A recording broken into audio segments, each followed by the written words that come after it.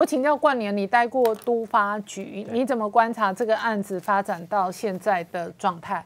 柯文哲今天这样，我觉得林冠杰现现在发展这个状态，我觉得柯文哲也不怪不怪不了任何人啊，因为他就是亲小人怨怨贤臣嘛。我们可以看到战狼夫妇只要讲一句话就开另外一个战场，然后被骂爆，甚至斗争自己人。那现在斗争，我们可以看到黄珊珊跟黄国昌嘛，一人抓一边。黄国昌抓着郑生元，郑生元跟他是同一个呃吹哨者理呃协会的理事长。所以几乎郑生元在办绿箭的时候，所有事情会到黄国昌耳中嘛？哦，对。然后第二个黄珊珊就握着陈佩琪。好，这个其实都不是一个政党发展的常态啦。现在成立一个什么民众党紧急应变小组，然后又成立民众党紧急应变小组扩大会议，这个到底谁来负责？现在我觉得是民众党危机存亡之秋，竟然没有一个人可以负责。嗯，我就很怕昨天其实发生意外。到底谁要把这些小草带上街，然后带回家？这个是完全没有。那这个整个政党是乱了套。所以柯文哲，我觉得他其实第一次没有被羁押的时候，他应该就要很清楚的交代说后面的事情要怎么做，完全按照制度来。呃，国民党、民进党过去也有面临这个代理党主席或是整个党陷入很大危机的时候，可是我觉得他们都照制度来啊。我觉得这个才是柯文哲自己要反省，然后民众党真真正要反省的事情啊。再来，我觉得民众党现在没有没有路线，嗯，没有路线就没有敌我意思。我问你，你有加入过民众党吗？有。那你加入是第大概什么年代？第几梯次？我很晚才加，二零二二年吧。二零二二年，那你退党了吗？退党，退党。退党是什么时候？呃，也是也是同一年，同一年。哦，你二零二二年就退党了。那你二零二二年加入的原因是什么？我觉得，因为我念都市计划嘛，所以我在台北市还是可以跟我一些同仁或长官做一些做一些事情。那我那时候有投入地方选举，那呃选竹北市长。对。那这个事情，我认为可以某种台北的经验，可以让我回到地方去做一些事情，所以是抱着这个理想，然后然后去做这些事情。那其实那时候，那你退党的关键是什么？也不是今年呐，也不是因为这一波才退党嘛。就是呃，我跟高鸿安有些私怨嘛。他那时候，我跟我跟对他，他甚至支持林维洲。我觉得这个党就是很奇怪啦。好，林维洲，然后跟地方的财团，甚至支支持国民党，所以路线真的是不清楚，没没有路线，然后就没有敌我意识，对，然后没有敌我敌我意识就行动摇摆。好，像我觉得现在民众党应该全面开战。什么叫全面开战？你看钟小平，然后游淑慧都是啊，反正支持蒋万安的嘛。蒋万安为什么要做做做做做这个事情？就是狂打柯文哲，嗯，然后狂打黄黄珊珊，就他要巩固下一次他的选举嘛，甚至他要派李四川出来，他要巩固双北的这个盘嘛。那那我觉得民众党现在把所有的这个敌人都锁定像在民进党，这个不是啊，因为你们这些群众基础跟。民民进党，我认为现在是没有重叠的。嗯，然后中间选民选民其实跑掉。嗯，那我觉得现在应该是跟国民党开战，甚至你要拿出一些啊真正这个谈判的优势，比方说我。呃，我有听到他们说，柯文哲本来是要选台中市长，嗯，台中市长一方面就可以，你跟这个把刀子架在卢秀燕脖子上嘛，说你要不要蓝白合，嗯，再来又可以做人情给民进党，这这个我都讲过嘛，不管是民进党，哎，民进党觉得，哎，你要跟卢秀燕对干，哎，那我可能民进党会渔翁得利，你应该是做这种比较战略上的铺陈，而不是现在还在保护柯文哲说，哎，司法不公，这个其实都是战略上的错误，再来。其实，民众党还有一些科粉支持者还在呃市政府里面，他们其实也在收集蒋万的情报啊。哦，你觉得蒋万 蒋万这些情报会没有事吗？好，好，这些事情这时候不丢出来，你什么时候丢出来？对不对？所以民众党我觉得完完全乱乱了套，明明就是这些亲蒋万的人在攻击你，那你现在不拿出一些这个进攻的态势，然后去谈判，嗯，然后去相互保证毁灭，嗯，那你这个党就。没有战力嘛，然后没有基础嘛，群众不会凝聚起来嘛，对不对？那再来是，我其实知道。那你怎么看民众党的八席席次未来在立法院可能的战略跟角色？呃，其实今年一月选出来的时候，我就跟我几个幕僚朋友就说，哎，黄珊珊应该有机会当院长或副院长。立立法院的时候，因为我觉得那时候是民众党最好跟民进党谈判的时候。比方说要到一个副院长，那其实两两党就可以合作推进一些事情。那这个是纯粹在政党合作的利益考考量底下。那我觉得民进党为了拿到呃立法院院长或或让出一起副院长，我认为这是完全合理的谈判。可是民众党就是没有考虑到这些，甚至到最后一天还把真正牵线的那个廖廖廖廖董事长，这个对对对。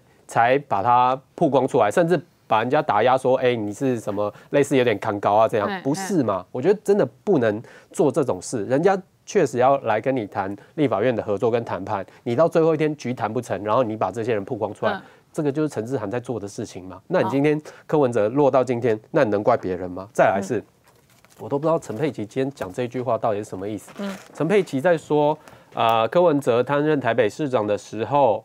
然后呃，所有的案子都被打成弊案。嗯，啊，陈佩琪说，当一个一呃市长，这些弊案就是保护色。嗯，那遇到不是自己专业的人，会指名指指名一名专案经理人，在科市府的这个呃用语就是 PM 啦，就是 PM 啦。那金华城经历过数十次的开会，其实里面的委员柯文哲一个都不认识。嗯，这个 PM 是谁？他就是在讲彭正生嘛，对，就我知道的，彭正生现在非常火大，嗯，所有的他的友人家人都是义愤填膺，彭正生现在是最大的科黑，嗯，只要一个人，只要是科黑，你在你觉得他对检察官讲出什么话，我觉得是非常，嗯，呃，可以想象的。所以彭正生未来的说辞也可能影响到这一个侦办的发展。当然了，PM 这个事情其实。呃，市政府呃职位里面没有个叫 PM，没有一个叫专案经理人，这个是柯文哲了解某案的进度去呃指定一个呃所谓的专专案经理或是专案专案专案管理人，就是只要了解进度的时候就问彭正生，比方说金华城这个事情，他就会问彭正生这个进度怎么样。所以这个案子本来就是彭正生督导的。其实 PM 不 PM 没有没有什么关系，可是我觉得陈佩琪今天讲这个话出来，而且他不指名道姓，他一直说专案经呃经理人，其实就就是在讲彭振生嘛。那彭振生其实他现在的态度就是非常委屈，因为他被指定要这个专案经理人，因为前两次的便当会彭振生都没有参加。那我问过他的幕僚是是怎么样嘞？他帮彭振生排这个便当会的行程的时候，比方说应小薇这个便当会是三点。他就帮彭正生排一个两点半的行程。哦，然后直接开会开到三点半，然后就不去了，让让他错过。对，因为呃，本来金华城就有去找彭正生，彭正生说这个都市计划案子不能用个案的方式来执行，一定要经过都委会幕僚单位，然后去执行，不能由直接副市长交办下去。所以他作为一个公务员是非常非常谨慎的，而且我自己知道彭呃。彭正生现在这些呃，你说要抹黑他或带风向的，其实是柯文哲身边的人。比方说，呃，有一则新闻，不知道您关姐知不知道，说彭正生在呃增呃呃财产申报的时候，八年增加了两千多万。对，好，这个两千多万，呃，他们他们自己有人跟我算了一下啦，因为彭正生副市长嘛，一个月十六万，然后一年十三个月，大概两百万，而且我知道彭夫呃。彭夫人很会理财吗？他不会，他他不是很会理财，他甚至还是帮人家修改衣服、做裁缝的，在他是家管，然后顺便接这些 case，甚至在台北住官舍的时候，其实官舍一个月六千块嘛，他们几乎没有花什么钱，而且他在台北的时候还在接这种呃这个裁缝衣服啊、定制的这些案子。而且他们在高雄，据我所知是只有一栋房子，为了上台北还把一栋房子卖掉，因为他们觉得要要上台北发展嘛。所以这个金流跟这个财产申报是柯文哲完全都知道，甚至在彭振生上来台北以后，他就已经调查清楚。可是为什么今天还要放这个消息？就是想把所有的啊，比方说土地的案子就。推给彭振生，推给彭振生。那今天彭振生当然是就是哑巴吃黄连嘛，对，所以他们也希望说赶快的。但是彭正生也有机会可以转做污点证人啊，有机会。那现在是没有查到金流嘛？那。彭正的律师是这样判断，其实彭正生没有图利的动机。嗯，要选举的人才有图利的动机嘛。我图利你，如果我没有拿到任何好处，我干嘛？因为我下一次要选举，可能要某个金主支持我，或者是某个奸商支持我，这还有图利的动机吗？彭正生现在的律师是这样的辩护，那其实有道理。那如果真的要抓贿赂的话，真的是要抓抓到金流嘛？所以我觉得彭正生因为陈佩琪这样。做了一些这种发表，我认为彭正人非常有机会做做污污点证人，把这些事情全部都讲出来。再来，我觉得总结一下，就是这些小草啊，跟民众党真的要讨讨论一下民众党未来的发展跟路线。你的策略是什么？战略是什么？而且我觉得现在三四十岁其实支持民众党的，我不希望他们变成一个虚无主义者，变成一个政治冷感的人。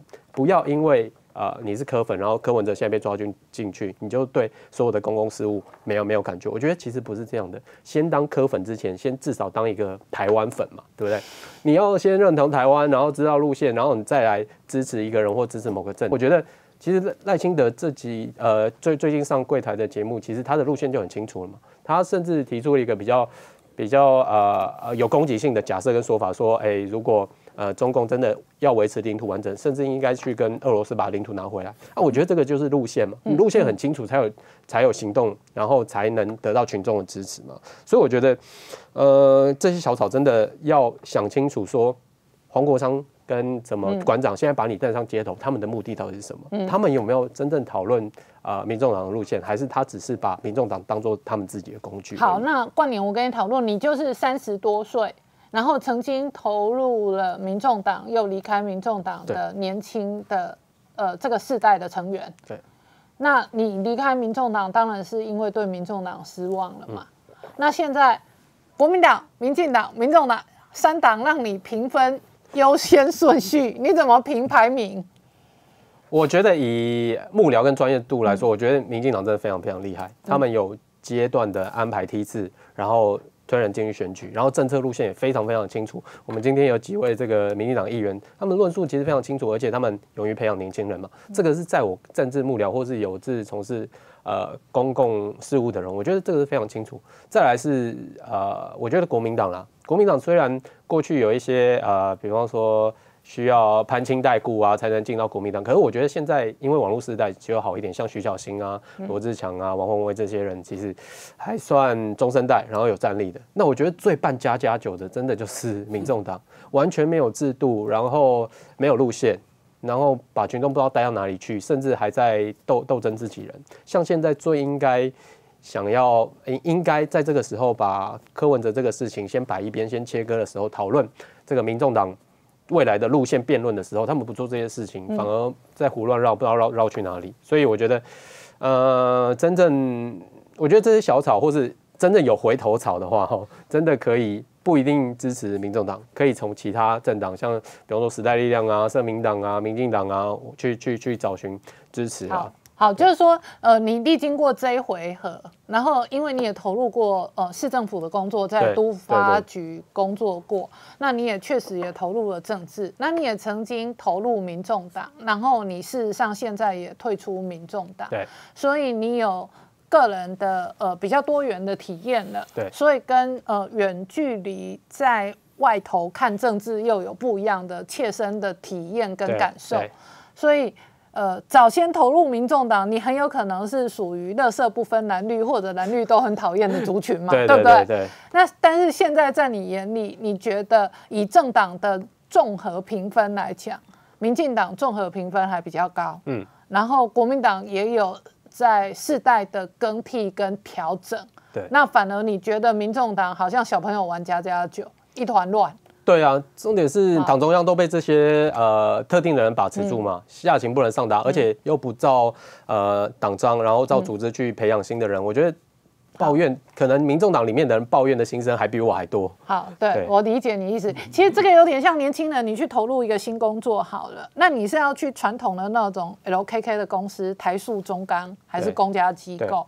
还是类似呃台积电半导体，大家说卖干，还是说呃新创事业、网络科技、数位科技？对，你选择了不同的平台，那个组织跟那个系统一定有不同的特质。嗯，然后那个特质你真的去经历一回，你就会感受到那个特质固然也有优点，也许在某些面向它也有缺点。对，可是这个社会现实的社会本来就没有完美的政党，然后也没有完美的平台。对，那只是说这样让你。看过一回，体验过一回，你觉得民众党最最不成样，就是我觉得要有就像就像林冠杰讲的，我觉得每一个政党都有局限，然后我们人也是不足，然后不需要把柯文哲捧成一个神话，然后再把它毁灭掉。或者你也不需要追求一个完美的政党。对对对，但是我们必须要自我理解，然后自我进化。那政党也是一样吗？好，这个也有点像年轻的时代，你去找一个工作，你这一辈子永远找不到完美的工作。